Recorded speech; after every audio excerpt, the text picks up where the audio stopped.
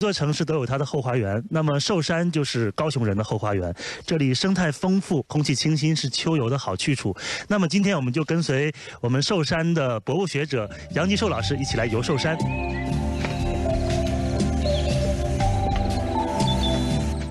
寿山又名柴山，是高雄市的一块绿色宝石，从北高雄一路绵延到西子湾，覆盖面积达一千多公顷。作为高雄的城市绿洲，寿山因其独特的景致、开阔的视野以及丰富的生态环境，深受民众喜爱。寿山多虫蛇，登山一定要注意。喷了杨老师自制的防护药水，顿时有百毒不侵的感觉。杨吉寿老师投入寿山生态保育研究已经三十多年，并出版了多部生态调查著作。对于寿山的一花一草、一树一木，杨老师都是如数家珍。这个这棵树叫黄连木哦，是目前台湾最硬的树。嘿嘿，叫恒春红藤，做那个薄槟榔的槟榔叶。正是秋高气爽的时节，赏秋的游人络绎不绝。寿山有着纵横交织的步道，无论男女老少都能怡然自乐。还有不少市民背着水箱登山，既锻炼身体，又可以方便他人在口渴时饮用。然后来柴山这边走一走、逛一逛，啊，然后顺便背个水上去啊，让大家饮用啊。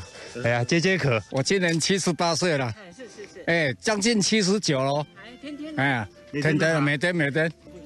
寿山拥有着近千种原生物种，是生态研究人员的宝库。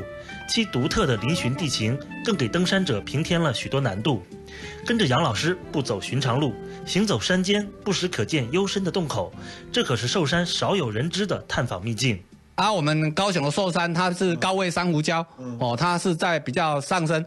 像一些溶洞里面，我们一般南部人叫做“鹅头”，它整个水兴起，整个冲刷长期的冲刷都变成一一些一些小洞，啊，在从那个石灰岩上面慢慢溶解以后，就变成钟乳石洞。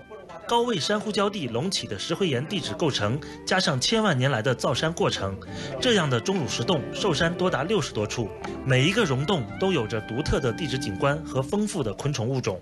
这个叫史丹吉士小雨蛙。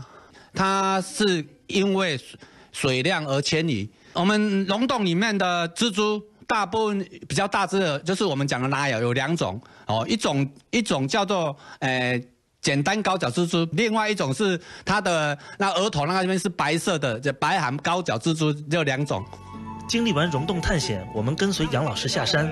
寿山多样的溶洞和植被让人叹为观止。